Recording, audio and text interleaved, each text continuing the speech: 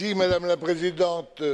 Nous avons, et nous remercions le Président qui nous a permis cela, aujourd'hui dédié une minute au début de nos travaux à la mémoire et en hommage euh, des victimes quotidiennes d'un système qui produit désormais une tragédie au niveau inconnu auparavant, une tragédie continuelle des pauvres contre les pauvres qui cherchent de travailler, de se nourrir.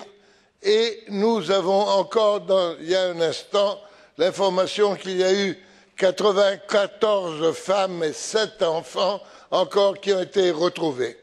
Bon, le problème est un seul, et nous le disons depuis, Madame la Présidente, ici, huit ans. Est-il possible qu'il n'y ait pas de monitorage alors que nous pouvons voir les fleurs de nos balcons? Si on est à 2000, à 2000 si on est à 2000 euh, choses d'espace et on ne peut pas monitorer, on ne peut pas savoir pourquoi, pour quelles raisons. Les raisons ne sont pas connues, les conséquences sont criminelles. Il faut arrêter, monsieur, c'est pas possible là, monsieur Panella.